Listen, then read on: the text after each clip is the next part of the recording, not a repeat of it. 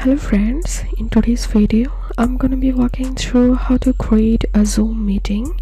But before getting started this video make sure to subscribe how to one minute.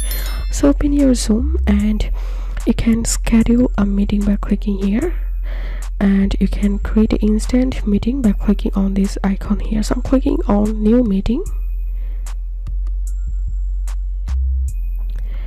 so here i have successfully started a new meeting and now click on this participants icon and click on invite and you can select contacts or email.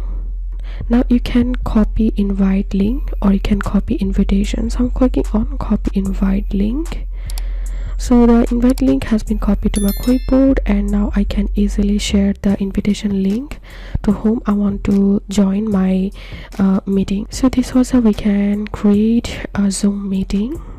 If you think to see more zoom videos please check the links in descriptions. If this video helped you give a thumbs up and please consider subscribe to how to one minute. Thank you for watching